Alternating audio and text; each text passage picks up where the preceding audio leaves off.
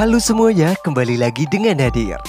Amanda Manopo dikabarkan tengah berseteru dengan sang ibu John, Henny Manopo. Menanggapi hal ini, pengacara Amanda pun buka suara. Ia membantah kabar yang beredar sekaligus meminta agar tidak ada lagi rumor keliru terkait kliennya tersebut John. Seperti apa pernyataan dari pengacara Amanda Manopo? Simak video ini selengkapnya John. Pengacara Amanda Manopo, Rasman Arif Nasution, membantah bahwa Amanda tengah cekcok dengan ibunda.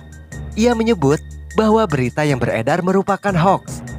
Beredarnya informasi di kalangan media, baik cetak dan elektronik, yang semuanya terkait katanya terjadi cekcok atau labrak-melabrak antara klien kami, artis Amanda Manopo dengan ibunya, Ibu Heni Manopo, perlu saya tegaskan bahwa berita itu adalah hoax, itu adalah bohong, itu adalah fitnah. Ujarnya dilansir dari kanal YouTube KH Infotainment pada hari Jumat 26 Februari 2021.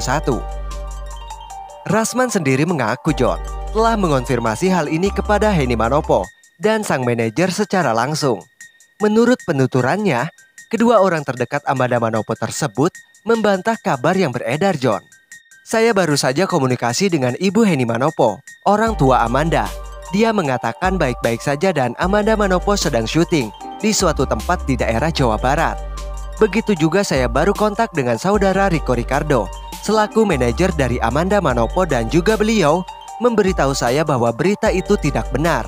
Pihak kuasa hukum sendiri mengingatkan John agar tidak ada lagi fitnah yang menyasar kliennya tersebut.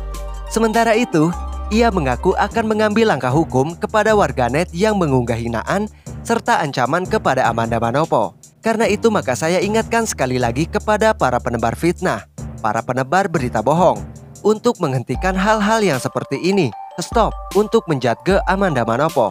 Stop untuk menfitnah. Stop untuk mencemarkan.